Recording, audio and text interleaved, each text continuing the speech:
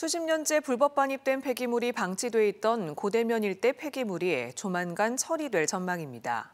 당진시는 그제 오성환 시장이 한화진 환경부 장관과 함께 불법 폐기물 방치 현장을 찾았으며 정부로부터 폐기물 18,000톤 대집행에 필요한 비용의 70%에 해당하는 약 14억 원 지원을 약속받았다고 밝혔습니다.